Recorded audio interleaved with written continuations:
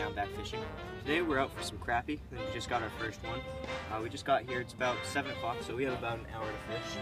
Uh, these fish are moved into spawn right now, uh, so we're going to take advantage of the fish in the shallows.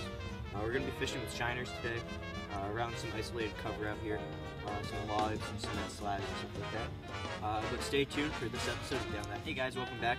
Just caught this huge crappie, nice and fat, spawning female. I'm gonna weigh this guy real quick.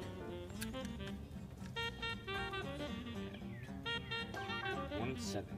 Nice fish. That's what we're looking for right there. We're gonna try to catch some, hopefully pushing two pounds today. This lake produces of them. Uh, let's let this guy go catch some more. Guys, welcome back. Just got another crappie. This guy's probably about 12 inches. Nice and fat. This guy too. We're aiming to get some two pounders today. This guy is one five. Nice crappie. Uh, we're gonna get this in the water and catch some more.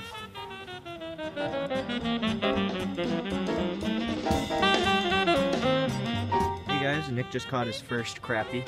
Nice solid fish. Nick stupid. Um, nice fish, nice fat belly on her. Let's it go and catch some more.